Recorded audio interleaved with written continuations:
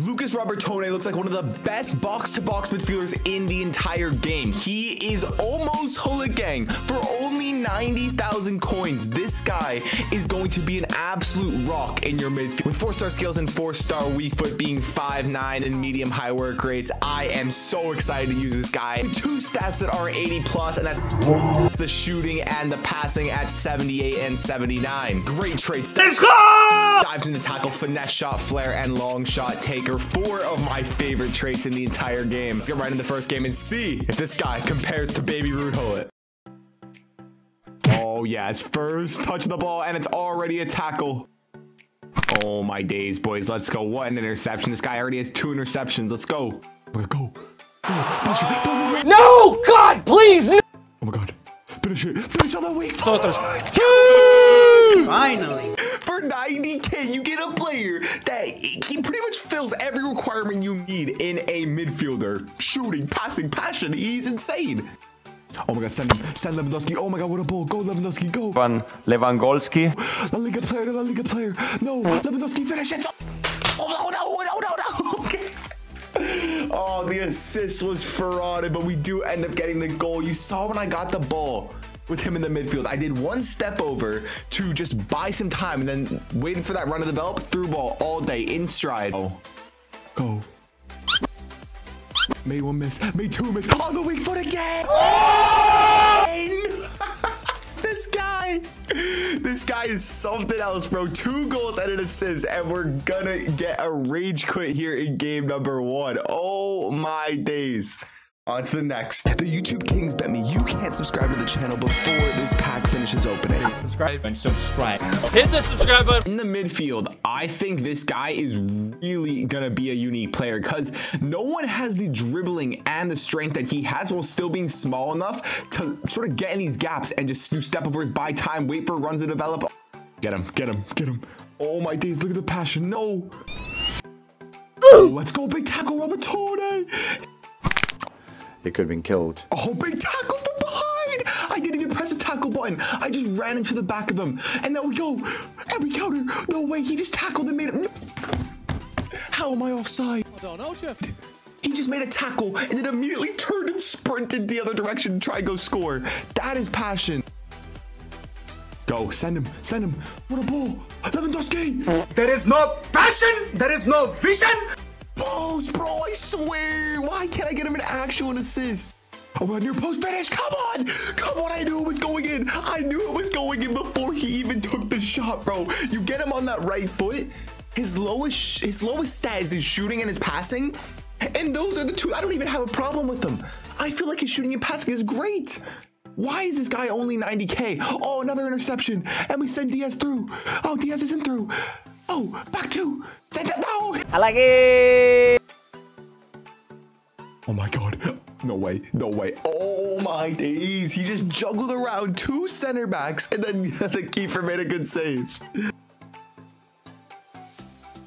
Spun two of them. Spun two of them. No, no. We lose the ball. But bro, why?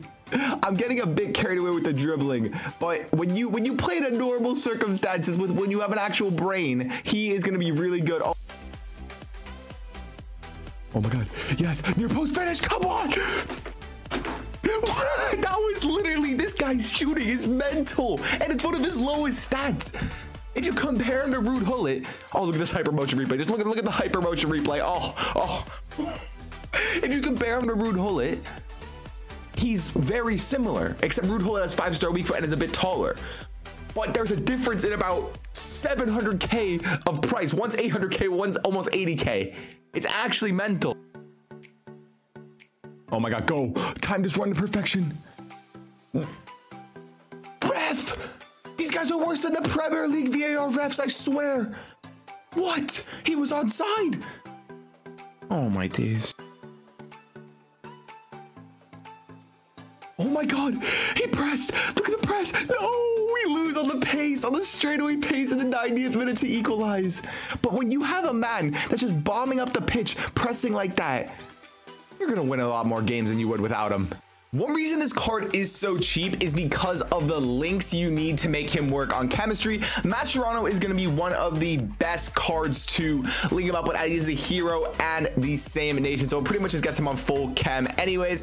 Also, Acuna is a great strong link, and so is this Correa card. I would say Correa, Mascherano are, are the best are the best strong links, and then also this informed keeper who is Argentinian.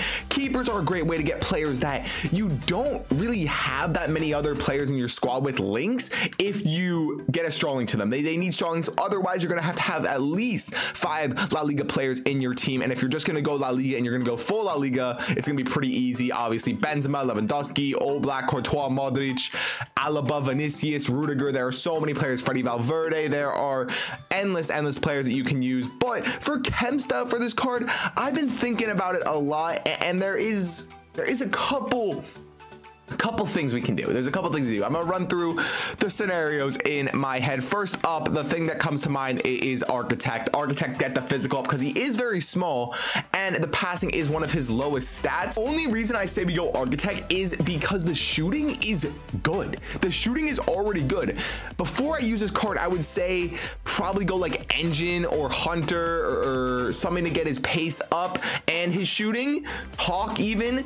But after I've used him, I, I I'm content with the pace. I'm content with the shooting. I think the passing and the physical could use a bit of an upgrade. So Architect is by far the best chem style for this card. You take a look at the in-games, the pace 84 acceleration, the, the gap between the acceleration and the sprint speed is perfect for a box-to-box -box center mid because you can get those interceptions by getting that first quick step. And then once you get the ball, you can do one skill move because he does have four-star skill moves to get away. You can do a, a ball roll, a step over, a fake shot to pass the ball, to buy space to pass the ball. That is really what you need to use this card for. And then also the shooting, 87 shot power is super, super good. The 77 finishing wasn't a problem for me. I did not miss very many, very many chances that I thought he would miss. And also the attack positioning, he felt like he was making great runs from the deep lying positions. And when I played him up higher as a cam, he was making even better runs. He was in always in a good attacking position. He would make a tackle and then just bomb up the field to try and get an assist or a goal.